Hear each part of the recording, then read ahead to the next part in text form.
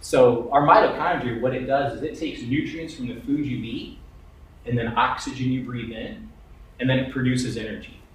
And what they call that is ATP. That is the energy production of mitochondria. But again, we eat food, our body hopefully in digestion absorbs nutrients from that. We breathe in the oxygen, and our mitochondria utilizes that for energy. And for your mitochondria to do that, I hope you can see you've got to have all those building blocks. What the reason I put this up here is it's one of the panels that I'll run in my, my practice. It's called a NutrEval.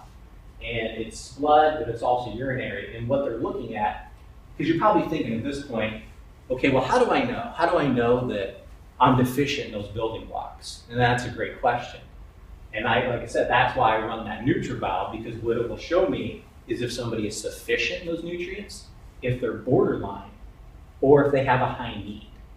It will show that. And so I can supplement for that individual for what they need. There might be a high need in B vitamins, but they might be borderline in magnesium, and their CoQ10 might be sufficient. It might be okay.